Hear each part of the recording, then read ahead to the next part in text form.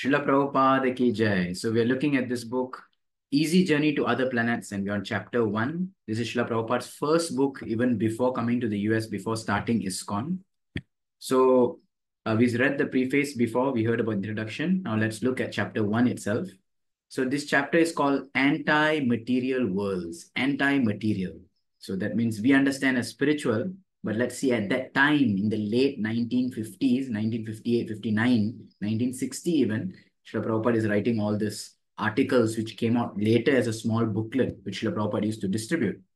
So let's see what Srila Prabhupada has to say.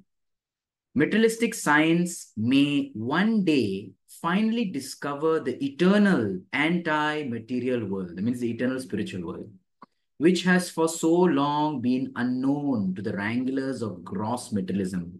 Wranglers means those who like to play around with, those who get stuck with gross materialism. So we can understand that this is the time where science is just taking a new frontier everything is being discovered, everything new is being created, technology, science, inventions. This was the era. Regarding the scientist's present conception of antimatter, so what is the scientist's understanding of antimatter? We understand it as spirit.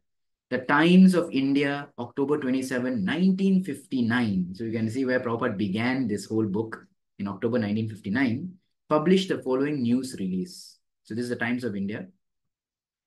Uh, Prabhupada already had taken Vanaprastha by the time 1955. He had left home, right, staying in Vrindavan, moving around here and there, trying to do his magazines. So this is all during that period. So this is Stockholm, October 26, 1959. Two American atomic scientists were awarded the 1959 Nobel Physics Prize today for the discovery of the antiproton. Okay, so for those of you not coming from much science background, in a atom, right? There's protons, neutrons, electrons. So they kind of found out an anti-proton, something which turns the other way. Uh, the protons and all are moving. So this is something which is opposite. Proton has a positive charge. This has a negative charge, not electron. It's within the proton. This is something, you know, opposite to it. Proving that matter exists in two forms, as particles and as anti-particles. So these are the two personalities. They are the Italian-born Dr. Emilio Segre, 69 years old, and Dr. Owen Chamberlain, born in San Francisco. So they are quite famous uh, for their work. This is Emilio Segre, right? Emilio Segre, and this is Dr. Owen Chamberlain, both recently in just 2006 passed away, and he passed away in 89. Okay.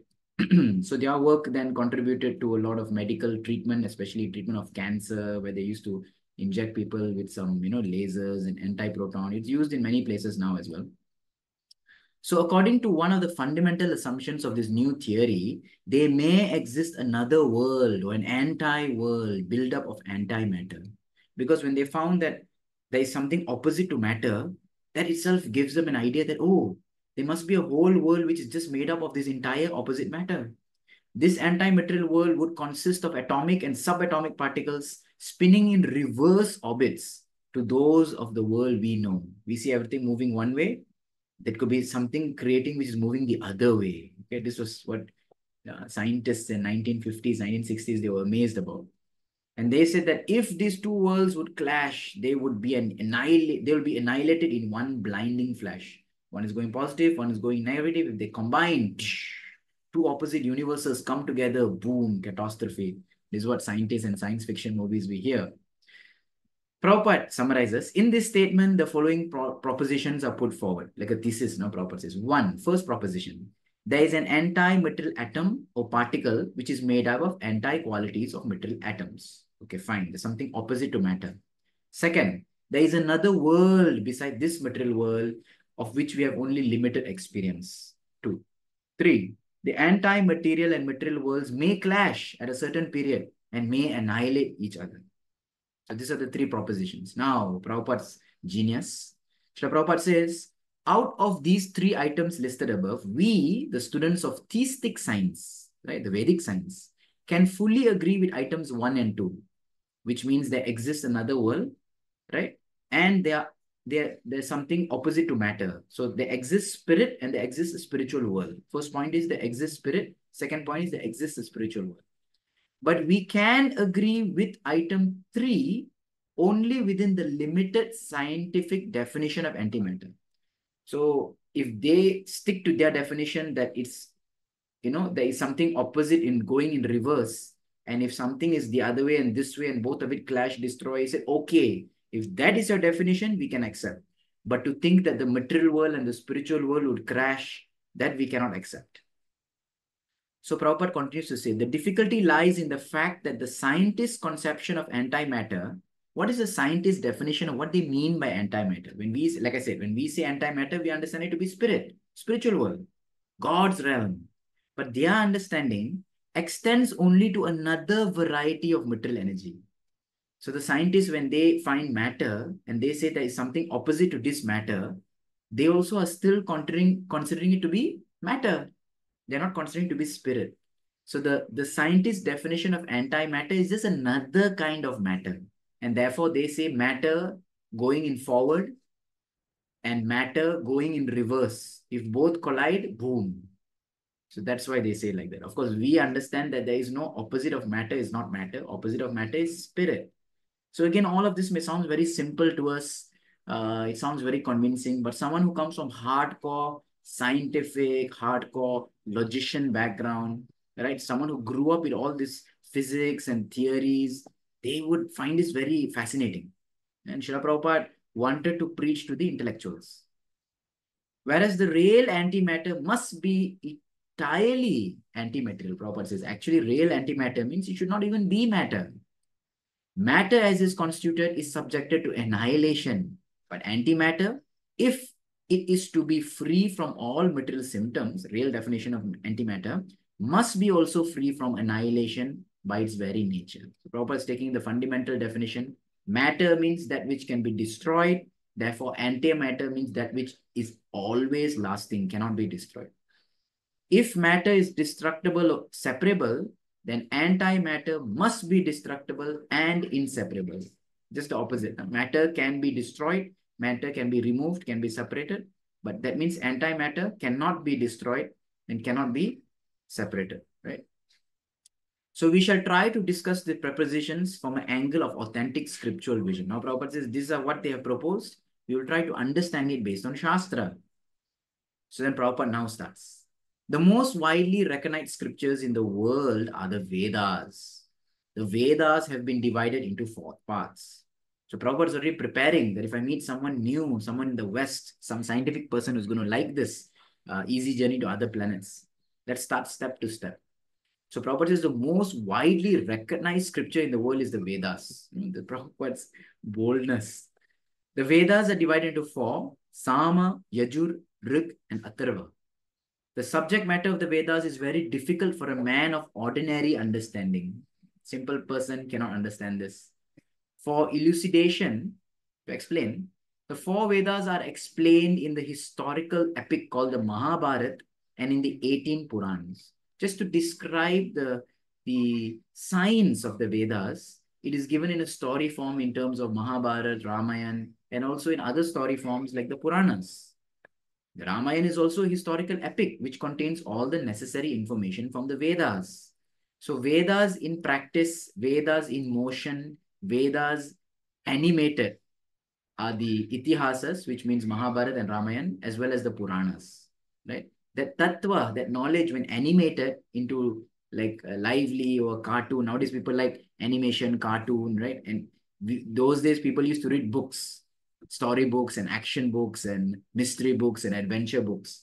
But now no one wants to read them. So they convert books into uh, movies, right? So similarly, the Vedas turned into action or living movement is the Mahabharata and Ramayana and Puranas and so on and so forth. So one can still get the essence of it. So the four Vedas, the original Ramayana by Valmiki, the Mahabharata and the Puranas are classified as Vedic literature. The Upanishads are part of the four Vedas and the Vedanta Sutras represent the cream of the Vedas, right? To summarize all this Vedic literature, the Bhagavad Gita is accepted as the essence of all Upanishads. Okay, so it's mentioned Sarvagavo Upanishadi. Just like if Upanishads are all uh, like the Upanishad is like the cow, right? And then Bhagavad Gita is like the extraction. The Bhagavad Gita is like the the nectar which comes out from that, uh, with the milk from that cow. And the preliminary explanation of the Vedanta Sutra. So Bhagavad, having mentioned all the four Shastras, the Vedas and all the Vedangas, the limbs of the Vedas, Prabhupada comes down to Bhagavad Gita, which is the essence of the Vedas. Sarva Vedanta Saramhi. One may then conclude that from the Bhagavad Gita alone, one can have the essence of the Vedas. For it is spoken by Lord Shri Krishna, the Supreme Personality of Godhead, who descends to this material world from the anti-material world. So now Prabhupada relates with what the topic of discussion is.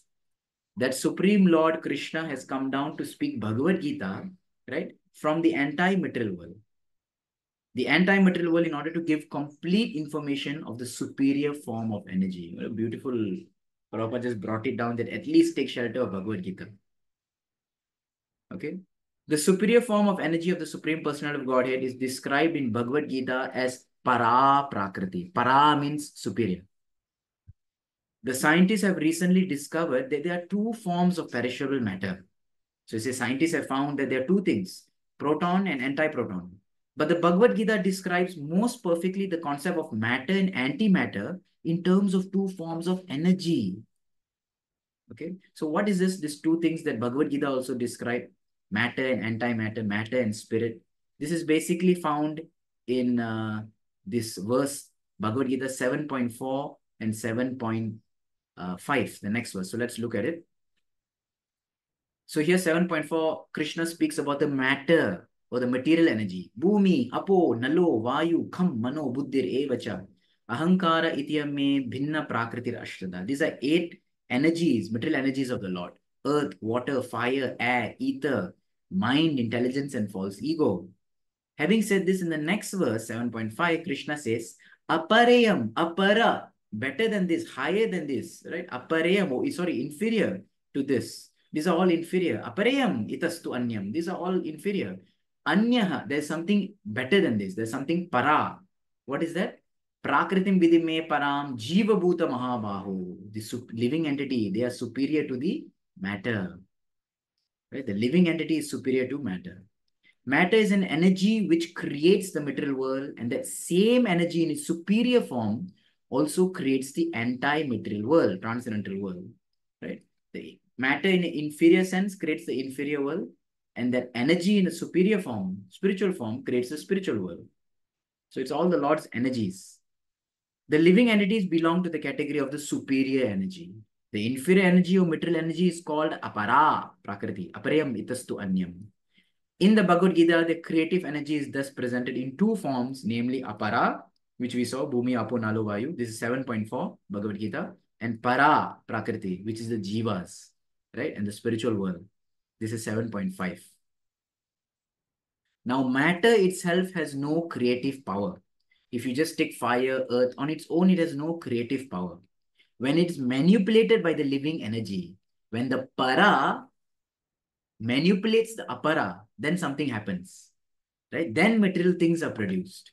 Matter in its crude form is therefore the latent energy of the Supreme Being. Right? It's the energy, but latent energy, not active energy. Whenever we think of energy, it is natural that we think of the source of energy. So now we're talking about para and apara, energies, energies, energies. But what's the source of it? For example, when we think of electrical energy, we simultaneously think of the powerhouse where it's generated. Energy is not self-sufficient. It is under the control of a superior living being. For example, fire is the source of two other energies, light and heat. When we think of light and heat, we think of fire. Fire is the origin of it. Light and heat have no independence existence outside of fire. Similarly, the inferior and superior energies are derived from a source which one may call by any name. So Prabhupada doesn't want a name here. You may call him uh, whatever you may call him, God, you know, a rose by any name smells the same. So we are looking at practicality, not naming at this moment. That source of energy must be a living being. Prabhupada says that that source, who is the origin of anything, some people likes to call him Brahman, must be a living conscious personality with full sense of everything. That supreme living being is the personality of Godhead, Sri Krishna, or the all-attractive living being. So very nice here, Prabhupada says that matter is a latent energy on its own, it cannot function. Just like if you take some metal and you just leave it there. It's not that after time the metal will slowly come together and it will form into a phone or it will form into a bottle. Not like that. But when you have just pieces of metal and you put a living entity, a para prakriti, right? Para prakriti, para energy. And then the living entity starts to think and it starts melting the metal and doing something, and then it can form something. Right. So matter alone is inactive, latent, right? Matter alone does not function. But when the supreme being comes in, then he can actually manipulate matter. Just like around us, all of us, the table, the chair that we are sitting on, the computers, the laptops, the mobile phones, the wires, the gizmos, the whatnot, clothes that we use, these are all manipulated from matter, dead matter. But who can manipulate it? Only the intelligent living entity. You don't see one glass interacting with the bottle and they decide, let's make a let's make a plate. You know, it's not like that, isn't it? You need a superior intelligence. That is the Jivatma. But Jivatma is also energy of the law. So matter is energy, Jiva is energy. Then who is the origin? That is the Supreme Personality of Godhead. Like that. In the Vedas, the supreme living being or the absolute truth is called Bhagavan. So Prabhupada gives the definition now. That supreme original origin of all energies is called Bhagavan, the opulent one, the living being who is the fountainhead of all energies. The discovery of the two forms of limited energies by the modern scientists, right? What we saw as the proton and antiproton, is just the beginning of the progress of science. Now they must go further to discover the source of the two particles of atoms by which they term material and anti-material. They found what is moving in this world, how things works. But where does it come from? Who's giving the brains to it? Who has designed clockwise rotation, anti-clockwise rotation, rotation at an angle? Who has, who has given that? Where has that come about? How can the anti-material particle be explained? We have experience with material particles of atoms, but we have no experience with anti-material atoms. Right? We have experience with matter, hard table, hard chair, hard wall. But what is antimatter? How does it look? How does it feel? So Bhagavad Gita gives us the following vivid description of the anti-material particle. Right? What is spirit? So here it says, this anti-material particle is within the material body. Spirit soul is within the material body. Because of the presence of this anti-material particle, the material body is progressively changing from childhood to boyhood, from boyhood to youth to old age. Because the living being, so this is, uh, uh, what is this? this is a verse in Bhagavad Gita, right? Dehinosmin yata dehe, right? To, uh, 2.13, second chapter, 13 verse. So here Prabhupada is explaining that because the soul is within this dead body matter, that's why this matter is growing from youth to old age. And we can experience this. Let's say if a child dies, passes away, and the child's body is there. And you say, wait, wait, wait, keep it for a couple of years, it's going to grow because all child body grows. Keep it for some years. In the absence of a spirit soul, the body will not grow, right? Someone dies young, 20 years old, 25 years old. It's not like, oh, wait, wait, keep it, it'll become old man. It will not. Right? The moment the spirit soul is absent from the body, the body does not function because the spirit soul is the one who's manipulating this body. So therefore, the anti-material particle is that which is residing within this body, and the anti-material particle, that spirit soul, is that which is manipulating this body, making it change from childhood, kaumaram, to boyhood, yauvanam, to old age, jara, after which the anti-material particle leaves the old, unworkable body, useless body, has worn out, and takes up another material body. Tyaktva dehantara praptim. Right? It gives up this body and takes another body. So this is the translation of 2.13, Prabhupada's quoting. This description of a living body confirms the scientific discovery that energy exists in two forms. We also agree. Energy exists in two forms. A para-shakti the Jivatma, and Apara Shakti, the matter. So the Para is exploiting the Apara. This body is a combination of two energies. What you're seeing here is the material energy, but what is moving it, driving it, growing it, aging it? That is the superior energy. So it's so simple to see that anything living, moving is a combination of two energies. If I show you this glass, how many energies is there in this? One energy. It's only apara, Shakti because you're not going to see this glass grow, right? I hope if it increases in size someday, but no, it will not. isn't it? And if you see a creature, tree, an ant, an animal, you know there's two Shaktis inside, two energies inside. It's very nice how Prabhupada's presenting this very complicated scientific idea, you know. When one of them, the anti-material particle, is separated from the material body, right? When one of these energies is separated from the material body, the later the latter becomes useless for all purposes. If the jiva is removed, like we said, it's the body becomes useless. As such, the anti-material particle is undoubtedly superior to the material energy. Therefore, we see that the presence of the jiva within matter is what animates matter. Therefore, the jiva, the para shakti, is superior. No one, therefore, should lament for the loss of material energy. This is also again Bhagavad Gita, where Arjuna, Krishna is advising Arjuna that do not, do not uh, cry, do not lament, you know, that uh, if this body is lost. All varieties of sense perception in the categories of heat and cold, happiness and distress are but interactions of the material energy. This is a continuation of the second uh, chapter of Bhagavad Gita, 14th verse. Matra sparshastu kaunteya shita ushna sukha dukada agama apaino nityastam stitikshasva bharata. Which come and go like seasonal change. So all the sense perception that we experience is just coming and going. Just like when you drive a car, right? You want to head to destination, let's say highway 159. And to reach highway 159, exit number 159, you pass by exit 120, exit 121. They keep coming, going, coming, going. For you, there's no difference because you are focused on that exit. Similarly, problems come, changes come, heat, cold, happiness, distress. They all keep coming, coming and going. They're just like the passing of those highways, but you know where your exit is.